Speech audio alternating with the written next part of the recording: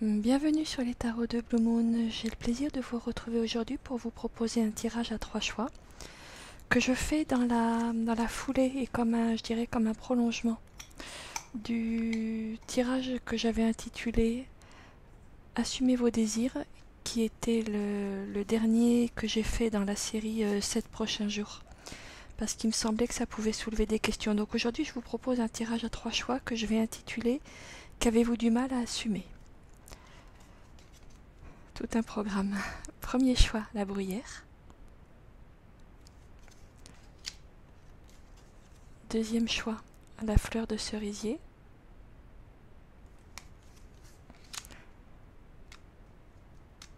Troisième choix, la fleur de carotte sauvage. Voilà, laissez-vous porter par celui qui vous parle le plus intuitivement, les, les couleurs, les motifs. Je vous les remontre. Voilà. Et puis comme d'habitude, je vous mettrai le, timing dans, le, dans les descriptions en dessous. Voilà, je vous dis à tout de suite pour votre tirage. Pour vous qui avez choisi euh, choix numéro 1, la carte de la bruyère. Alors, qu'est-ce que vous avez du mal à assumer? Pour moi, il y a un attachement à une certaine image que l'on souhaite donner de soi-même. Euh, et peut-être il y a une peur de ne pas montrer une fragilité ou une sensibilité. Je vois des gens qui, euh, quand on ne les voit pas ou quand ils pensent qu'on ne les voit pas, par exemple, parlent aux, aux anges, parlent aux esprits de la nature, s'adressent à l'invisible.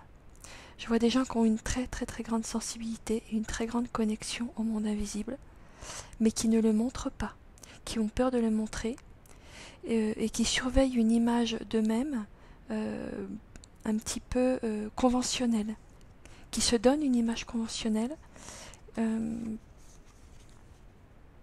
par peur d'être rejetés en ayant l'air un petit peu trop bizarre. Probablement vous faites cela, si c'est bien votre cas, pour vous conformer à une, une habitude ou une loi familiale. Il y, a, quelque chose dans votre clan qui vous a dit ou qui vous a fait croire que l'hypersensibilité, que de voir l'invisible, que de voir les mondes subtils, c'était pas normal, c'était peut-être même dangereux. Et ça vous, c'est comme s'il y avait un dédoublement de personnalité pour vous. Il y a la part de vous qui voit l'invisible et qui a des interactions avec l'invisible, puis il y a la part de vous qui est celle que vous montrez au monde, qui est une part beaucoup plus rationnelle.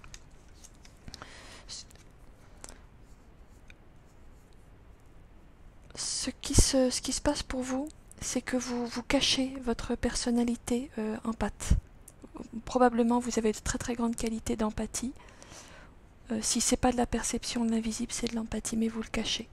Et vous le cachez derrière un personnage euh, sûrement joyeux, enjoué, euh, chaleureux, espiègle, mais qui, qui est un petit peu un déguisement, qui est un petit peu une, façade.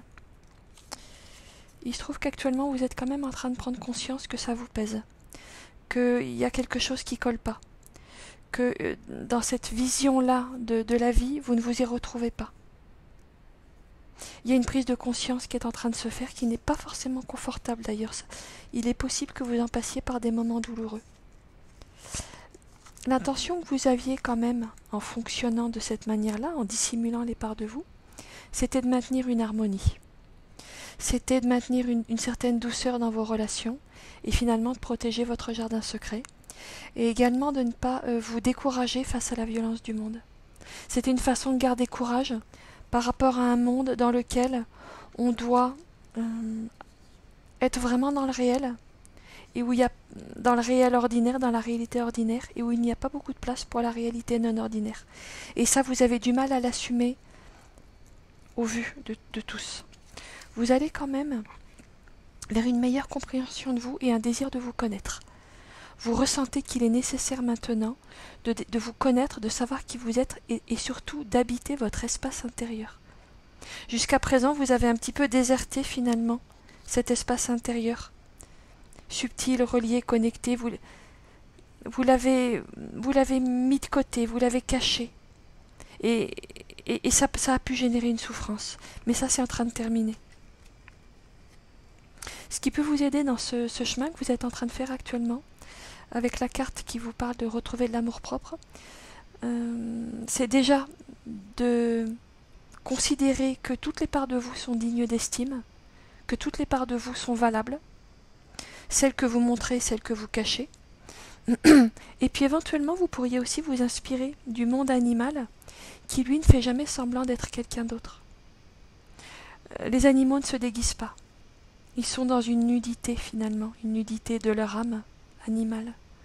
Vous pourriez vous inspirer de cette, euh, cette honnêteté fondamentale des animaux. Et il ne s'agit pas du tout de, de sous-entendre ici que vous ne seriez pas honnête. Quand on est obligé ou quand on en vient à dissimuler certaines qualités que l'on a, parce qu'elles ne sont pas admises dans notre milieu social, dans notre famille, dans notre environnement, c'est une question de survie. Hein on n'a rien fait de mal. Mais cette part de, vous, maintenant, vous pouvez l'assumer, vous pouvez la revendiquer. Toute cette part hyper intuitive, hyper sensible, euh, vous pouvez la revendiquer. Toute, toute cette part empathique, revendiquez-la.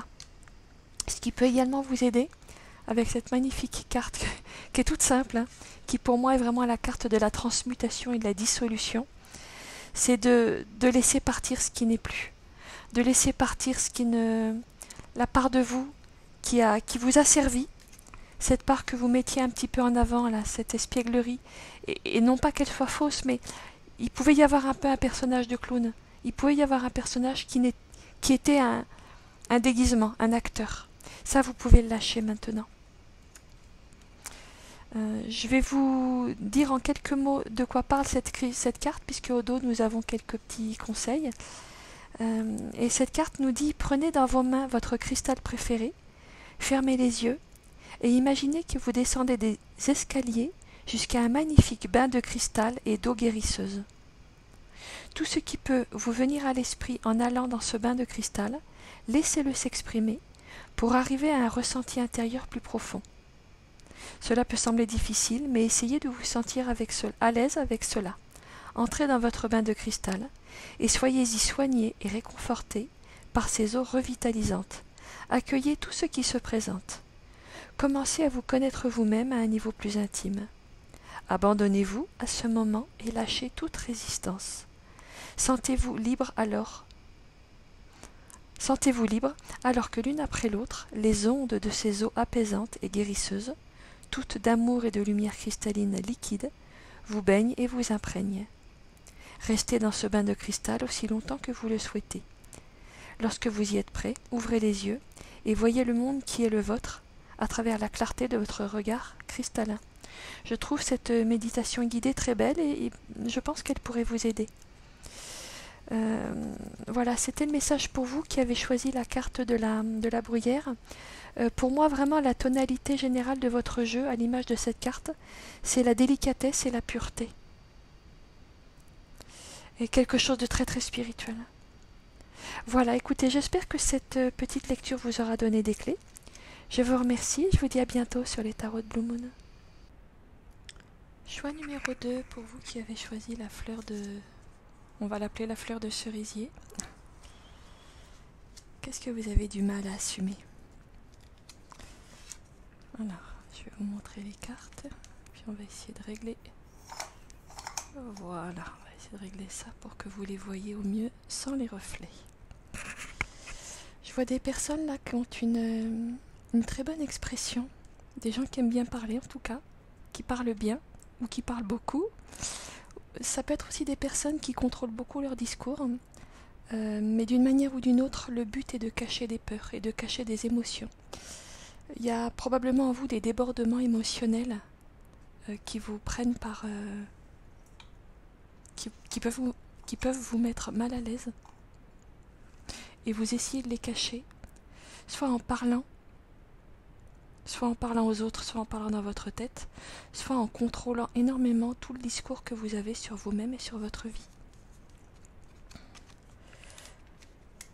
Très probablement, vous vivez une certaine solitude et vous avez muré votre espace personnel. Euh, vous vous êtes blindé dans un cadre de vie que vous avez essayé d'aménager sur mesure un cadre de vie absolument parfait, idéal, où, où, tout est vraiment... chaque chose est à sa place dans votre vie, ça peut être quand même un petit peu figé. Et ça demande à, ça demande à être, ça demande à être remis en mouvement.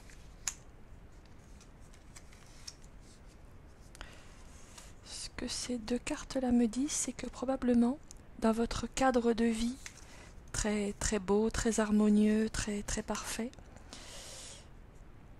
vous vous, vous, vous êtes entouré de belles choses, euh, de possessions, vous pouvez avoir un, même un attachement matériel sécurisant des objets. Alors il ne s'agit pas forcément d'être riche, hein, mais il s'agit d'avoir un attachement matériel à certains objets qui nous sécurisent. en tout cas, à un espace intérieur euh, stable qui nous rassure, qui nous sécurise. Euh, c'est une façon de ne pas se laisser emporter par des émotions qu'on ne contrôle pas. Euh, il peut y avoir chez vous une forme de fuite en avant, peut-être aussi dans le discours intérieur euh, une parole intérieure qui ne s'arrête jamais, qui vous emmène, qui vous emmène toujours plus loin. Peut-être aussi pour certains, certaines d'entre vous, beaucoup d'ambition, beaucoup de projets, une très forte projection dans l'avenir, parce que quand on est toujours dans la projection de ce qui se passera demain, euh, finalement c'est une façon de ne pas euh, ressentir ce qu'on est en train de vivre là dans l'instant. C'est une façon de fuir l'instant présent. L'intention de départ, alors attendez, on va quand même regarder ce que vous avez encore de jeu parce que c'est intéressant. Actuellement, vous êtes quand même en train d'essayer de faire la lumière, soit sur un passé, une enfance, le moment où les choses se sont construites telles qu'elles sont actuellement, soit pour essayer de savoir pour vous qu'est-ce qui sonne juste émotionnellement. Euh, peut-être vous êtes en train de faire de la lumière sur une possible quête affective, une possible. Euh, qu'est-ce qui a fait que sur le plan émotionnel, vous avez cette telle recherche de perfection. Vous êtes en train de faire la lumière là sur ces questions actuellement. Probablement sur votre passé aussi. Alors comme c'est un tirage collectif, je suis obligée de, de garder un petit peu toutes les alternatives pour que, pour que ça parle à tout le monde. Quelle était votre intention de départ? Parce qu'il y a toujours une intention hein, quand on a des, des choses qu'on des parts de soi difficiles à, regarder, il y a toujours une intention à la base. Votre intention à vous, c'était de faire au mieux, c'était de faire le meilleur usage possible de toutes les ressources qui vous ont été données de par votre naissance ou votre arrivée dans le monde. Euh, ce, qui vous a été donné dans votre enfance, ce qui vous a été transmis comme valeur, des conditions de vie, des facilités probablement que vous avez. Vous avez le désir de créer autour de vous un espace de perfection c'est quelque chose qui est extrêmement important pour vous. Très très très important. Et ça en soi, il n'y a rien de négatif, hein, c'est une très belle intention. Simplement, quelquefois, ça peut amener à un hyper-contrôle, comme nous le montrent ces deux cartes, voire à des attachements matériels et à des fuites dans l'avenir par un bavardage intérieur qui ne s'arrête pas.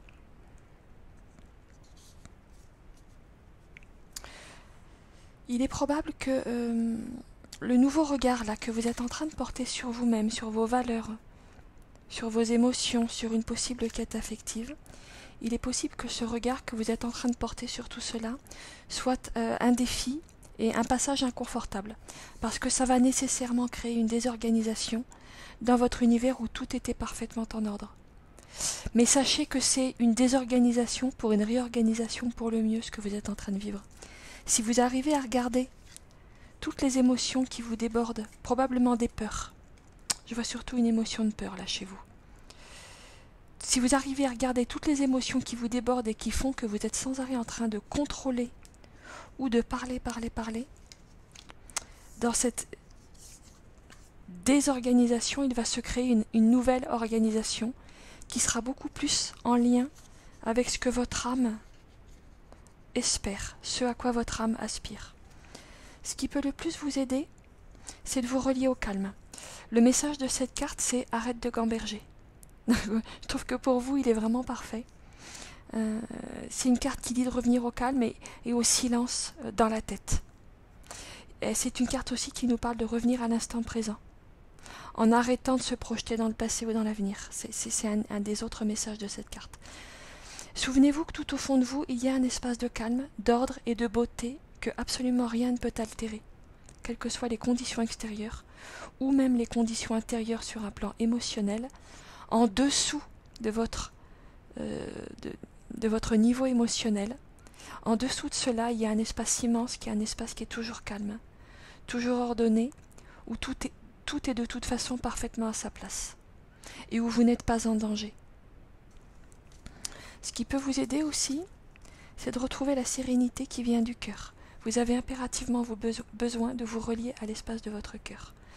Parce que c'est un espace où finalement l'ordre se fait de lui-même, le calme se fait de lui-même, et où on est naturellement protégé contre tout ce qui peut venir nous, mettre en état d'anxiété. Je pense que pour un certain nombre d'entre vous, il peut y avoir même, j'irai jusqu'à dire, des crises d'anxiété. Ça ne concernera pas tout le monde, mais c'est peut-être euh, le cas pour certains. Je vais terminer par le message de cette carte puisqu'il y a une petite méditation guidée et je pense qu'elle pourrait vous aider. Donc je vais vous la lire. Elle s'appelle Un signe. Asseyez-vous tranquillement et fermez les yeux. Demandez à votre être supérieur de vous donner un signe qui représente votre plus haut développement pour cette vie. Quoi que ce soit qui vous vienne, ce sera le signe le plus parfait qui soit, pour donner vie dès à présent à ce que veut votre être au plus haut niveau. Cela peut être une couleur, un sentiment, une idée, un souvenir, un guide ou un ange, quelque chose d'abstrait ou un symbole. Imaginez que ce signe flotte doucement devant vous. Il rayonne de lumière, d'énergie et de sagesse, qu'il diffuse à profusion dans toutes les parties de votre être. Tout est transformé, vous donnant accès à votre volonté supérieure et un courage plus grand. Que cette partie de vous nouvellement découverte vous inspire dans votre vie. Laissez-la vous révéler votre développement le plus élevé, votre chemin le plus haut, ce qui vous rend heureux. Ouvrez les yeux et continuez à suivre le cours de votre journée. Voilà, c'est le message de, votre carte, un signe. Je trouve qu'il est très très beau. Je conclurai en disant que ce que je ressens pour vous, c'est euh, une tonalité générale de grande, grande perfection et de grand raffinement. Ce que vous avez du mal à assumer, finalement, ça cache une, une très très belle exigence de perfection et de raffinement, et c'est ce que votre âme peut maintenant rayonner dans le monde. C'est magnifique, hein magnifique. Écoutez, j'espère que cette petite lecture vous aura donné des clés. Je vous remercie, je vous dis à bientôt sur les tarots de Blue Moon. Choix numéro 3 pour vous qui avez choisi la, la carotte sauvage. On va l'appeler comme ça. Je, pense que c'est une, une fleur de carotte sauvage. Qu'est-ce que vous avez du mal à assumer? Pour moi, vu votre tirage, vu tout ce que je vois, il va être question de l'amour, de l'amour romantique. Vous avez euh, très manifestement des rêves de romantisme, des rêves de grand amour, des rêves de trouver l'âme sœur. Et c'est quelque chose qui, alors pour une raison que j'ignore, qui est liée à votre histoire personnelle, c'est quelque chose que vous n'arrivez pas forcément à assumer aussi facilement que cela. Peut-être parce que vous êtes dans un environnement où on rit un petit peu de, ce, de, cette, de ces choses-là. Euh, peut-être parce que ça, ça met en avant une certaine vulnérabilité aussi. Parce que quand on n'a pas trouvé le grand amour, on peut avoir un jugement aussi sur soi. L'impression que que les autres vont croire qu'on ne l'a pas mérité, ou, ou se dire soi-même qu'on ne l'a pas mérité, ou qu'il y a une injustice, ou ça peut être quelque chose qui est difficile à assumer pour vous. Clairement, ça fait longtemps que vous êtes à la recherche de votre flamme jumelle. Moi, c'est ça que me dit cette carte dans ce, dans ce jeu-là. Ça fait longtemps. Hein. Ça fait longtemps que cette histoire vous, vous tracasse et finalement pourrait bloquer un certain nombre de choses dans votre vie. Ce qu'il en résulte, c'est une difficulté à vous appuyer sur vous-même et euh, une tendance, je dirais, à, attendre de l'autre, qui qu'il soit, une validation. C'est comme si vous aviez du mal à trouver votre, vous-même votre structure intérieure, vos racines, et que vous alliez les chercher chez l'autre. Vous êtes probablement euh, relativement euh, dépendant du regard de l'autre, de sa validation, probablement très très touché quand on vous fait une critique ça peut vous détruire ou au contraire euh, un compliment peut vous, vous donner une force incroyable. C'est comme si vous ne saviez pas le trouver en vous. Cette force-là, vous ne savez pas la trouver en vous. Ce que vous êtes en train de faire en ce moment, c'est que vous êtes en train d'apprendre à revenir à vous-même. Vous êtes en train de comprendre la nécessité, je dirais, de changer de décor intérieur pour, euh, pour savoir ce que vous êtes, savoir qui vous, qui vous êtes, ce que vous êtes, ce que vous aimez, ce que vous n'aimez pas, euh, pour savoir vous-même juger si quelque chose est bon ou pas pour vous, et pour développer une pensée euh, personnelle, une, une, structure intérieure qui se dégage peu à peu des, des demandes de validation par, par l'extérieur, par votre entourage. Alors à la base, quand même, ce qui vous, ce qui vous anime, c'était, c'était une, une, intention de... Comment je pourrais dire ça? Vous êtes un cœur pur et fidèle, très clairement. Il y a une immense, euh, je dirais, une immense noblesse du cœur en vous. Mais vous êtes probablement très euh, touché, très blessé par euh, une certaine violence de la vie, une certaine usure de la vie et vous recherchez une protection contre l'usure du quotidien, contre la banalité. Le rêve de grand amour, c'est aussi un rêve de, belles choses, de, choses grandes, belles, nobles. Euh, il est probable que vous, que vous aimiez les, grandes histoires, les mythes, les mythologies qui racontent des, des histoires d'amour célèbres. Ça vous, ça vous parle parce que ce sont pour vous des exemples que l'être humain peut échapper à l'usure du quotidien, à l'usure de la banalité, à l'usure de la laideur euh, qui, envahit quand même, il faut bien le dire, le monde et, les, relations humaines. Il y, y, a quelque chose de très noble en vous. Il y a quelque chose de très très noble.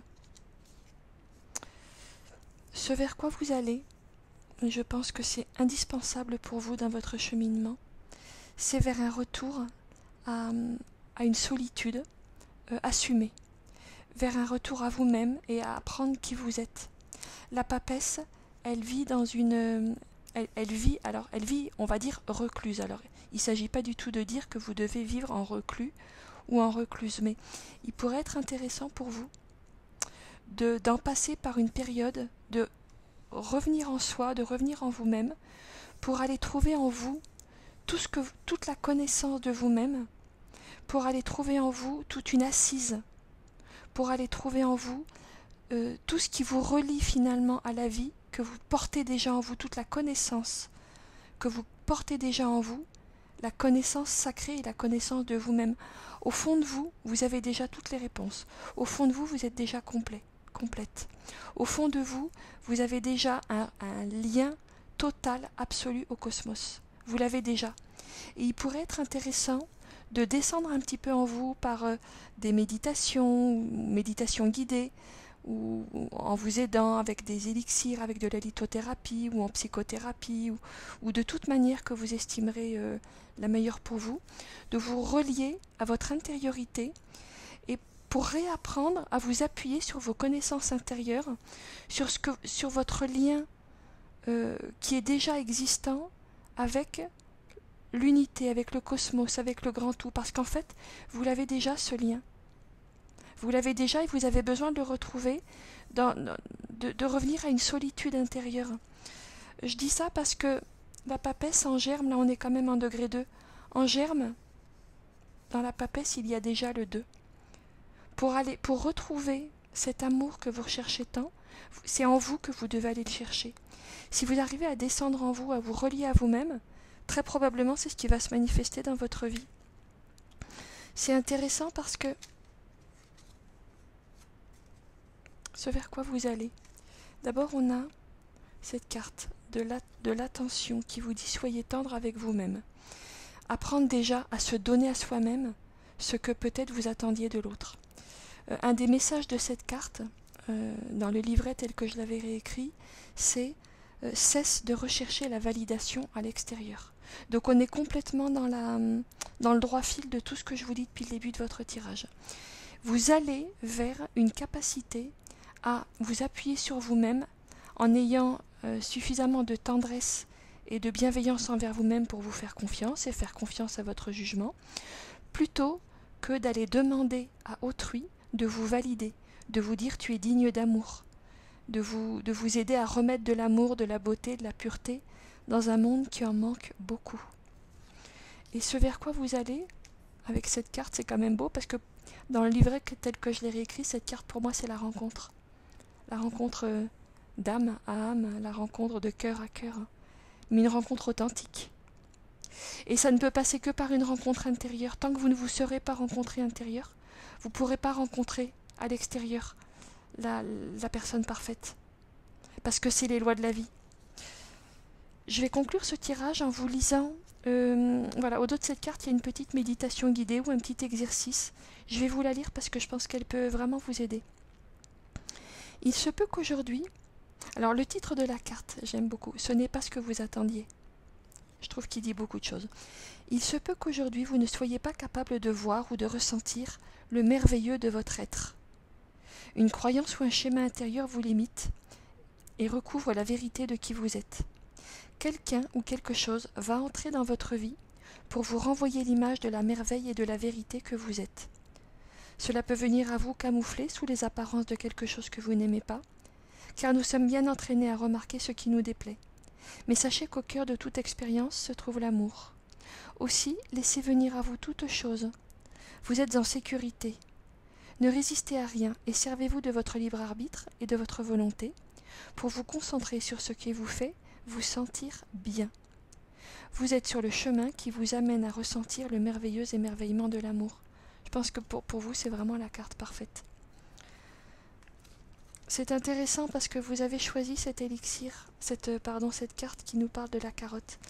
Et les, hum, les huiles essentielles de carotte, euh, elles aident à, hum, retrouver de la sécurité, pour les personnes qui manquent d'ancrage intérieur et elles aident à guérir les blessures de séparation.